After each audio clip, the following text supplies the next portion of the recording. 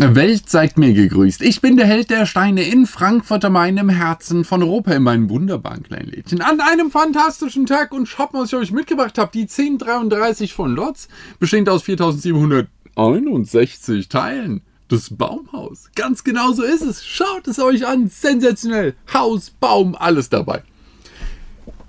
Das Ding kostet 100 Euro Liste. Ich sag mal Liste ist der Bluebricks Verkaufspreis innerhalb von Deutschland 100 Euro. Ihr kriegt es natürlich direkt aus Asien noch günstiger. Mit schöner Box, gedruckter Anleitung und allem drum und dran. Ja, Onkel, wie ist das möglich? Fast 5000 Teile, 100 Euro. Diese Teile sind im Verhältnis 3 zu 4 kleiner als Lego. Dementsprechend ist es auch nicht kompatibel zu Lego. Ebenso wenig wie zu allen anderen Klemmbausteinherstellern. Lots bastelt kleine Dinge. Und sie basteln es großartig. Die Teilequalität ist sehr, sehr hoch. Wir haben tolle Prints dabei. Ist alles fein. Die Farben kennt ihr auch, ihr kennt auch die Formen und so weiter. Aber ihr könnt nicht aus eurem Teilevorrat etwas nehmen und es hier ersetzen. Das wird nicht funktionieren, außer ihr habt schon sehr viel von Lots zu Hause. Ihr braucht gar nicht mal so viel von denen zu Hause zu haben, dass ihr schon sehr viele Steine habt, denn sie geben einen Unmassen an Ersatzteilen noch mit. Also man kann relativ zügig dann ein ordentliches Lager aufbauen. Und der Punkt ist der Bauspaß. Ich habe es euch ja gerade bei der U-Bahn-Station gezeigt. Ich habe euch ja vorher auch schon von den sieben Zwergen das Haus gezeigt. Oh, das habe ich aufgebaut, verkauft. Endlich habe ich die Anleitung dafür gekriegt. Äh, weil ich hatte es hier verkauft ohne Anleitung, habe sie nicht mehr gefunden. Ich habe sie mir nachbestellt. Jetzt ist sie da. Viele Grüße, falls wir uns gerade sehen. Die kommt jetzt. Hui, erledigt. Ähm, wo war ich gerade? Der Bauspaß ist für mich sehr hoch. Er ist eigentlich identisch. Es ist sogar noch ein bisschen, es ist natürlich fiddeliger, aber ich habe riesengroße Hände und ich kriege es trotzdem hin ähm, weil die Teile sehr gut sind. In der Anleitung hätte ich ein, zwei Verbesserungsideen, vor allem bei diesen Farben. Das ist mir nicht aufgefallen bei der ähm, U-Bahn-Station, vor allem nicht in der, in der Magnitude. Hier allerdings äh, ist es mir aufgefallen, da wir hier verschiedene Braun- und Orangetöne haben und Nougat und so weiter. Das geht so alles ein bisschen ineinander über und in der Anleitung ist es nicht immer sauber auseinandergehalten. Ich wäre da dafür, dass es so läuft wie bei Bluebricks mit kleinen Kürzeln, dass da DB für Dark Brown steht zum Beispiel. RB Reddish Brown dass das alles so ein bisschen äh, im, im Medium Nougat. Ja? Kleine Unterscheidung ist doch kein Problem. Gut. Ähm, wir gehen mal in Ruhe durch. Es ist modular aufgebaut. Wir können es auseinandernehmen. Ähm, ich bin mal gespannt, in welcher Reihenfolge ich das mache, denn ich habe es noch nicht auseinandergenommen. Ich habe es bisher nur aufgebaut. Und jetzt müssen wir mal gucken, wie wir das auseinanderkriegen. Bisschen gemeinsames Abenteuer, oder? Kann doch nicht schaden. Ah, es wird wunderbar. Ich freue mich sehr. Und das Schöne ist, die gewisse Handlichkeit. Ich habe es ein bisschen weiter nach vorne geschrieben für den imposanten Start ins Video. Aber das ist mächtig. 5000 Teile. Keine Frage. So, mal kurz rüber zu den Erdmännchen gepackt. Zwischendurch gestärkt. Alles schmeckt besser aus der Heldentasse. Cheers. Ich habe übrigens Nachlieferungen bekommen. Auch von den kleinen, meinen Classic-Tassen für 10 Euro sind auch wieder da. Für 15 Euro die großen mit Gravur. Alles im Laden vorhanden. Wir haben jetzt Anfang Oktober das letzte Mal mit mir geöffnet für dieses Jahr. 6., 7., 8. Oktober. Ab dann jedes Wochenende mit Stefan offen. Ihr wisst Bescheid. Ich komme dann wieder im Früh, ja, sagen wir mal Frühsommer zurück. Sagen wir mal Frühsommer. Genau. Passt auf. Äh, das ist die Box. Das ist die Box. Es ist eine, äh, ja, das Bild ist drauf. Äh, es ist eine stabile, ordentliche Kiste. Das ist eine richtige Kiste und ich finde es super cool. Die öffnet sich einfach so, ja, man nimmt so den Deckel ab. Und natürlich nicht zu vergessen, die Abenteuer der Rückseite. Äh, nichts, vor dem man sich fürchten müsste. Ganz im Gegenteil. Wow! Wie bei der 21318 aus dem Hause Lego gibt es nochmal alle Blätter, alles Grünzeug in Orange nochmal dazu. Und auch noch ein bisschen Grün als extra ist auch dabei. Und wie gesagt, nochmal alles komplett, keine Ahnung, 200 Blätter dabei. Dazu bekommt ihr noch das hier als Ersatzteil. Das sieht jetzt gar nicht mal so viel aus, weil es äh, halt Lots ist. Aber wenn man das mal... Da sind natürlich auch die, die gesamten ähm, Karottenstängel dabei, damit ihr äh, die Blätter befestigen könnt. Hier sind überall die grünen Stängel drin. Aber das sind viele, viele Lagen. Sekunde, ich mache euch das hier mal so auseinander. Damit ihr das mal so ein bisschen seht. Keine Ahnung, es sind 200, 300 Teile extra, die da drin sind. Das sind immer noch zwei Lagenteile. Es sind unfassbar viele Einzelteile, die ihr da mitbekommt. Und ihr kennt es in allen, in allen Farben, Formen. Fenster sind da dabei. Auch größere Elemente mal. Hier mal fette einmal 8 Fliese oder sowas. Hier so ein großes Rädchen. Ähm, alles dabei. Äh, es, ist, es wunderbar. Also, wenn ihr ein paar Sets von Lots gekauft habt, habt ihr einen ordentlichen Ersatzteil. Äh, ein ordentliches Ersatzteillager, das ist kein Problem. Es sind Minifiguren dabei, die muss man aber echt komplett bauen. Also Hände in Arme stecken, Arme in den Körper stecken und dann so ein Gelenk dazu, dann die Beine dazu, Friese drauf, Gesicht nicht vergessen. Nee. Ich finde immer, es ist den, den Aufwand nicht wert für eine Figur. Aber ich bin auch nicht so der Figurenmensch. Aber die Figuren sind dabei. Ihr seht sie natürlich hier auf der Anleitung, da spielen so und so. Superfiguren, alle dabei. Alles sind, es sind alle sehr glücklich. Ähm, schönes matte Schwarz, die Anleitung. Sehr schön. Innen drin weiß. Die alten Bauschritte sind farblos dargestellt. Das hilft im ersten Moment gar nicht in der Orientierung. Ihr wisst, ich mag es wesentlich mehr, wenn, wenn, ähm, wenn es nur verblasst dargestellt wird. Tatsächlich habe ich ein Thema, das wollte ich auch gleich noch sagen, mit Dunkelblau, das kann ich zeigen. Es sind schöne Prints dabei, aber leider auch Aufkleber. Moment. Ähm, hier ist das Dach von diesem Häuschen.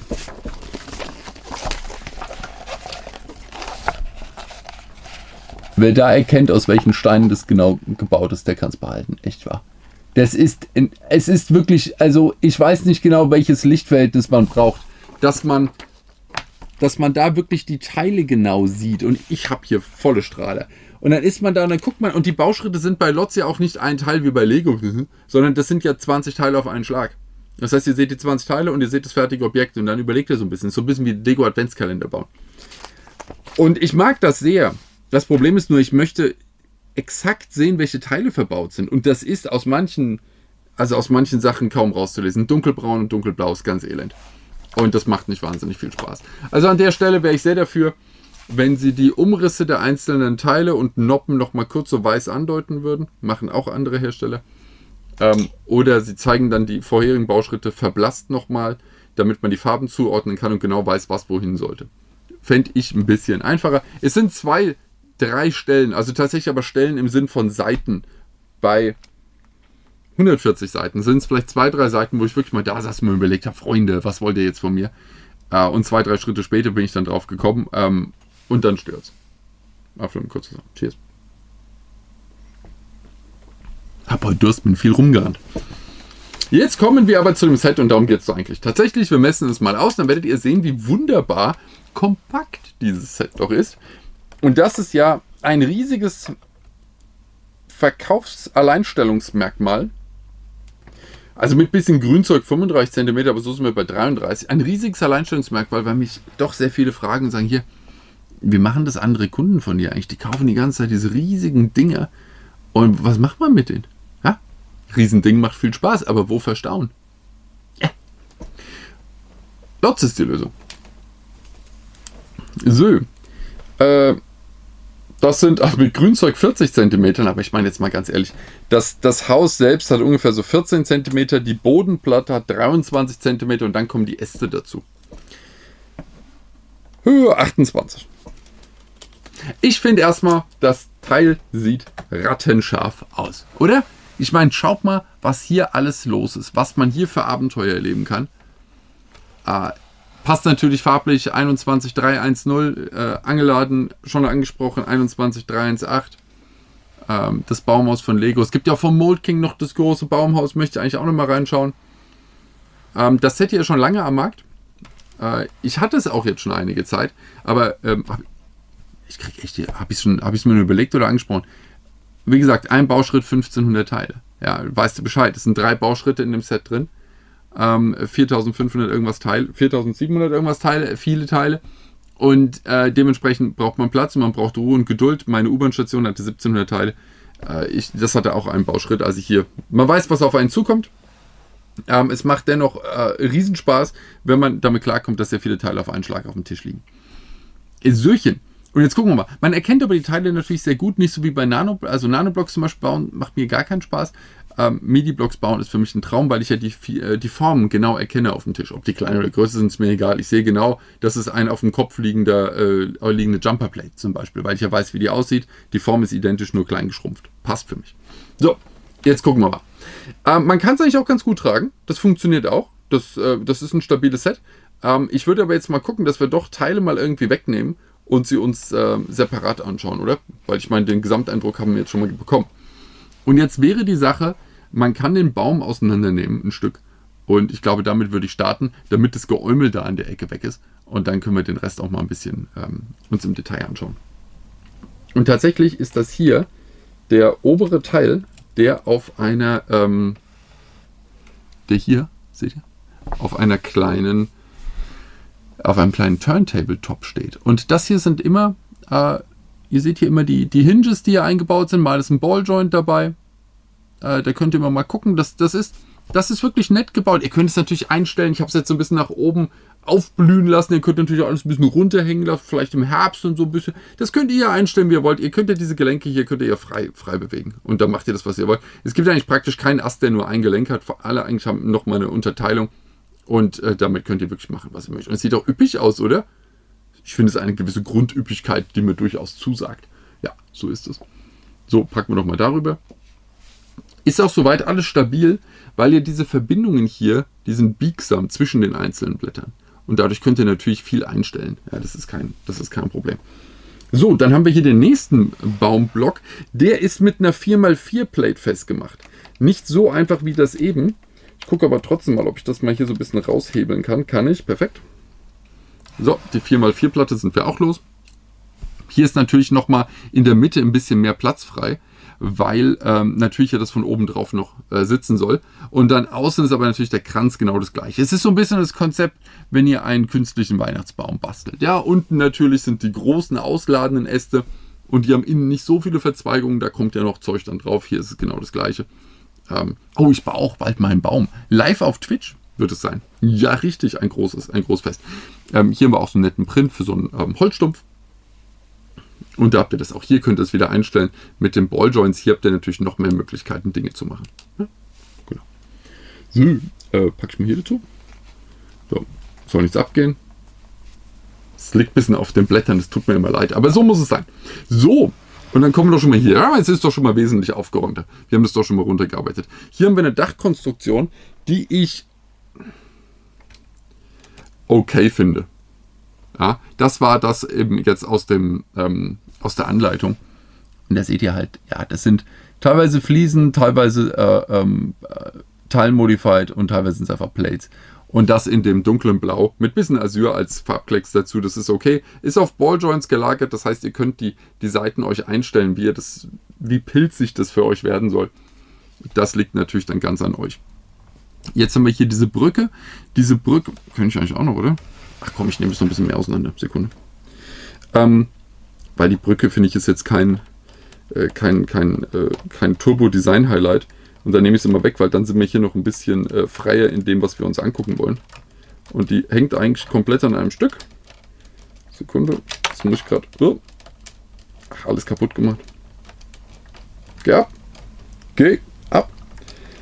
Der Plan war... Der Plan war, dass du abgehst. Gut, sie ist in zwei Stücken abgegangen. Ein Balljoint hat sich verabschiedet, aber da müssen wir mit klarkommen. So eine kleine, das ist einfach so eine zusammengebaute Treppe. Ja, mit oben so einem Ding. Und ich habe einen Balljoint äh, durchgehauen, der ist, äh, der ist weg ein bisschen Deko. Und wir sind in der nächsten Ecke. Die. Achso, da wollte ich noch was sagen. Habe ich da angefangen? Die Klemmkraft der Steine ist sehr gut.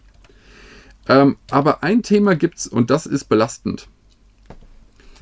Das habe ich eben auch wieder gemerkt. Die Fliesen haben. Wo ist mein Deko-Element? Das will ich noch dran machen. Die Fliesen haben keinen Groove. Und jetzt sagt ihr, das, der Musikgeschmack der Fliesen ist mir egal. Es geht um eine kleine Kante das ist ein Lego-Element jetzt wieder. Ich packe euch das mal. Ich habe hier noch ein paar He-Man-Figuren. Ich finde, die passen sehr gut zusammen. Und wenn ihr hier drunter schaut, Fokus, seht ihr gegebenenfalls, sobald der Fokus kommt, der aber steinert auf mir bleibt, dass hier unten eine kleine Kante ist. Da drunter. Hier auch. Hier nicht. Die Plate hat keinen Groove, Fliese hat einen Groove und die auch. Dieser Groove ermöglicht, dass man mit, mit dem Fingernagel drunter kommt oder mit dem wertvollen Teiletrenner, der hier auch dabei ist. Ja, wertvolle drin im Lotsmaßstab, ähm, dass man da drunter kommt. An der Stelle, die ich eben abgehebelt habe von der lustigen Treppe, ähm, äh, von dieser Brücke, da kam ich auch nicht drunter und dann gibt es halt ein bisschen mehr Katastrophe, wenn man da ein bisschen mehr hebelt.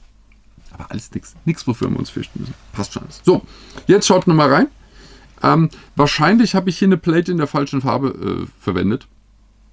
Ich denke, ich sollte auf Dark 10 gehen.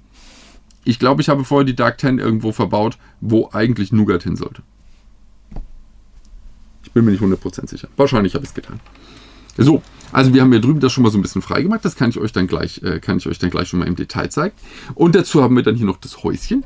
Das Häuschen hat ein nettes Dach. Hep, hep, hep.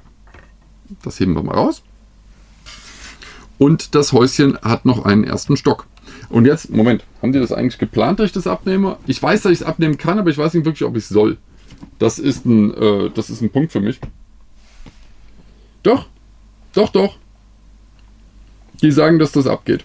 Sie sagen eigentlich sogar, dass der Baum gar nicht, hier seht ihr es, der Baum unten soll gar nicht abgehen. Ich habe es jetzt, also der untere Teil, ich habe es trotzdem gemacht. Und hier das Dach zeigen sie nicht, das kann man aber abnehmen, aber dafür sagen sie, dass das gesamte Stockwerk abzunehmen ist.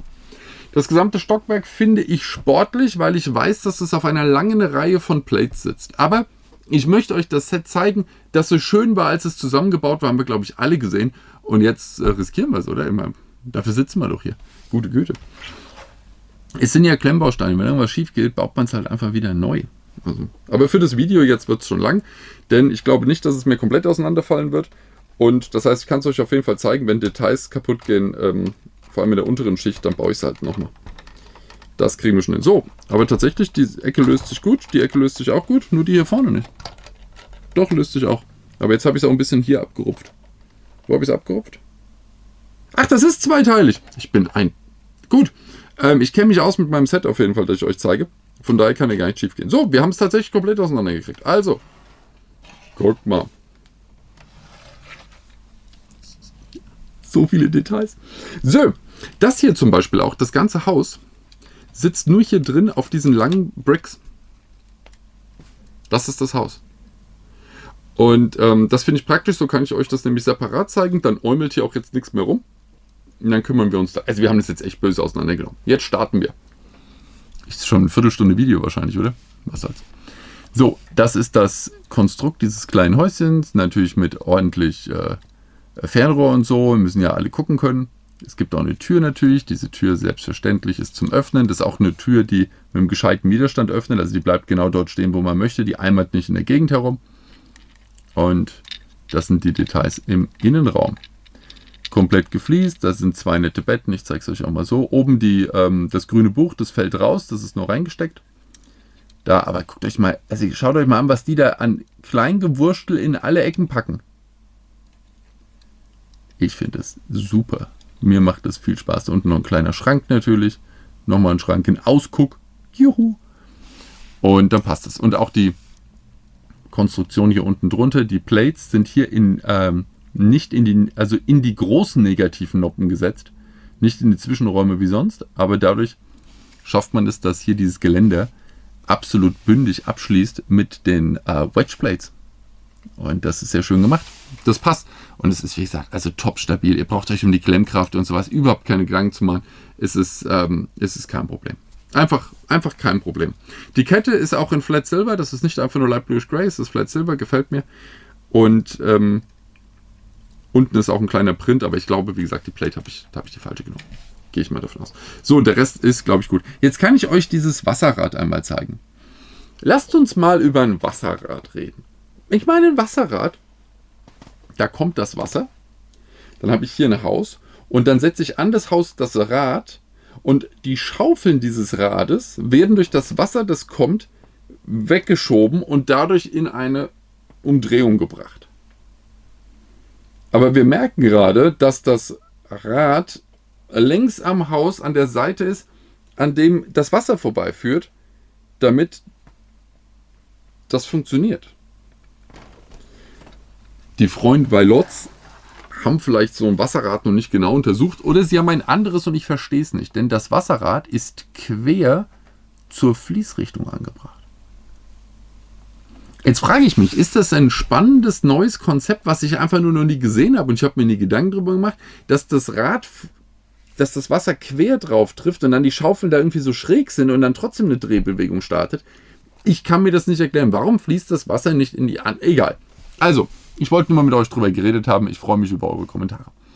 Ähm, da vorne, das sind alles Prints. Ja? Ich habe keine Aufkleber angebracht. Alles, was ihr seht, sind Prints für diese nette kleine Veranda. Das ist alles ein bisschen absichtlich schief angebracht. Ich war nicht leicht angetrunken. Auch hier die Designideen, das sind immer mal, wenn es parallel ist, sind es zwei Noppen, wenn es schief steht, ist es eine Noppe, ist auch in der Anleitung so angegeben. Ähm, ihr habt super bedruckte Pilze da unten.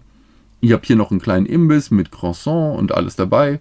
Ihr habt dann hier diesen netten Baumstumpf. Auf der anderen Seite habt ihr ein bisschen Holz gelagert. Das ist ein kleines Stoffteil hier. Das ist nicht Plastik, das ist angenehm weicher Stoff. Daneben habt ihr zwei nette Hühner mit einem Ei.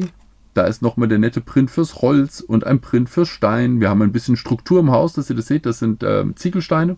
Ich glaube, es ist zu hell, wenn ich es euch so hinhalte. Aber wenn ich es schräg halte, seht ihr ja, dass da eine Struktur tatsächlich gewollt ist.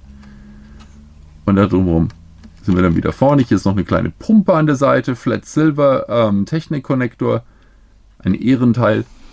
Und Blick von unten. Große Platten. Stabile Platten wir haben kein Gewobbel, wenn man das Ding baut. Es ist alles wirklich gescheit.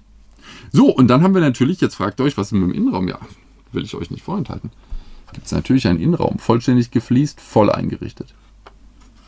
Da ist ein netter Herd da hinten, Dunstabzugshaube ist dabei. Da hinten ist äh, ja, Zubehör. Unten sind auch noch Schränkchen. Die Schränkchen kann man aufklappen, selbstverständlich. Es sind immer kleine Türen davor. Da unten, die kann man auch aufklappen. Schränkchen am Start. Da geht dann die Treppe hoch. Also ich würde sagen, an Detailgrad, da ist, da ist was los. Ja, da ist wirklich was los. Jede Ecke ist ausgefüllt. Jede. Da passiert gar nichts. Es sind auch irgendwo noch Angelrouten. Wo sind eigentlich die Angelrouten hin? Haben die die Reise überstanden, die Angelrouten? Ich dachte, ich hätte zwei Angelrouten gebaut. Möglicherweise sind sie weg. Äh, vielleicht sehe ich es aber auch noch irgendwo. Oder ich habe sie schon euch gezeigt und ich sehe sie jetzt noch nicht. Ist egal. Also, es sind auf jeden Fall Details dabei. Ganz viele kleine Details an ganz vielen Ecken. Das gefällt mir. Und mir gefällt auch sowas, dass ich hier oben so ein bisschen Muster reinbringe. Das so ein bisschen gebastelt aussieht. Und nicht alles so 100%. Achso, und das Rad dreht sich natürlich auch, ist klar. Es dreht sich auch sehr gut mit einem schwarzen äh, Stopper. Die waren bei Lego mal eine ganze Zeit lang äh, ziemlich selten. Cheers. Immer noch sehr durstig. Aber das Getränk hilft natürlich glorreich. So. Und dann baue ich es jetzt einfach schon mal wieder drauf. Ich baue es vielleicht einfach schon mal wieder drauf. Ähm, so. Sitzt gut, sitzt stabil, ist nur in ein paar Sachen festgemacht. Also ihr merkt, Klemmkraft. Macht euch wirklich keine Sorgen. Und natürlich ist das, ich sage es mal zwischendurch, ähm, eine Vorliebenfrage. Wenn man ein Thema hat mit kleinen Teilen, dann ist das natürlich nichts. Und ihr wisst ja, ich bin ja eigentlich der, der bei den Kriegsschiffen ähm, den äh, Deckaufbau nicht basteln möchte, diese kleinen Bars und so zusammenstecken. Das macht mir keinen Spaß. Aber das sind ja richtige Noppen. Es funktioniert wirklich gut. Also habt nicht zu viel Angst. Und es gibt von Lots Sets für 10 Euro. Probiert es mal aus. 10, 12 Euro.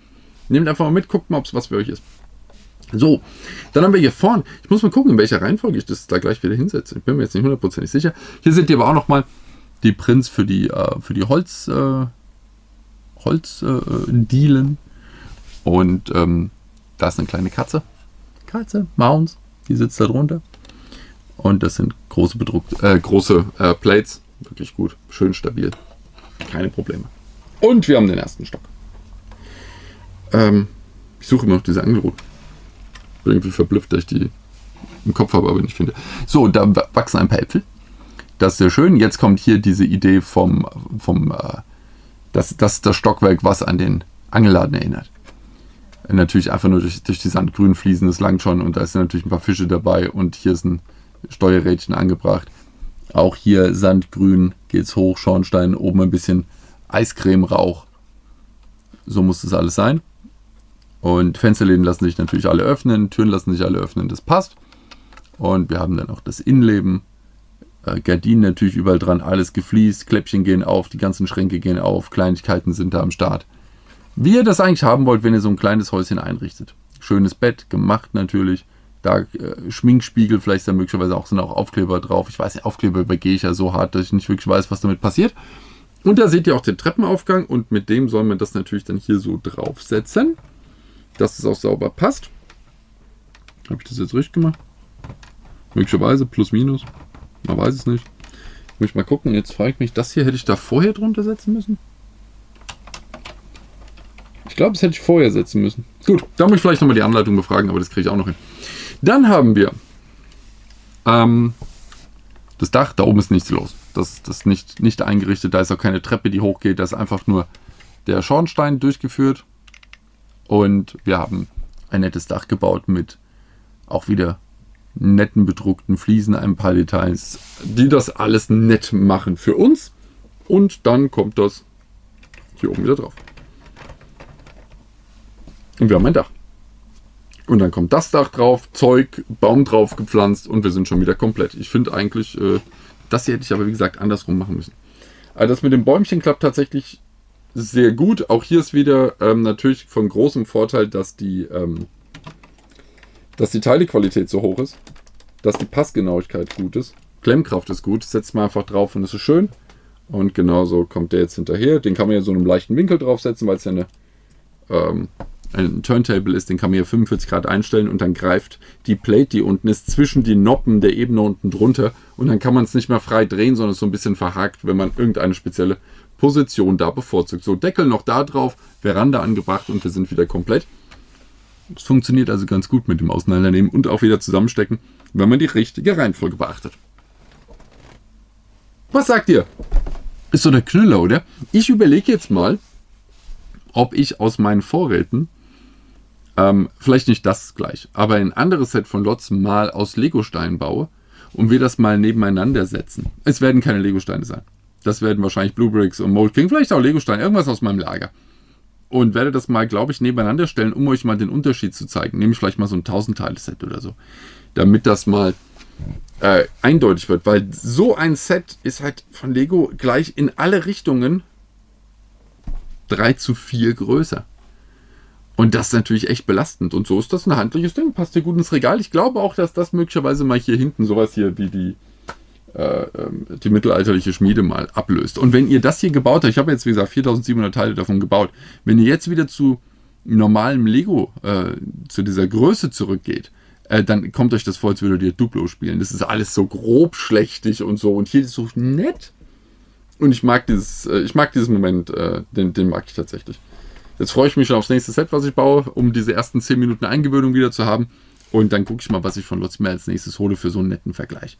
Ich glaube, da können wir viel Spaß dran haben. Aber für Freunde, wie gesagt, der, äh, der sehr beliebten Baumhaus- und, und Angeladenreihe ist das, finde ich, eine großartige Ergänzung. So ist es. Ich hoffe, es hat euch Spaß gemacht. Ähm, habt eine großartige Zeit und nette Leute um euch. Bis bald.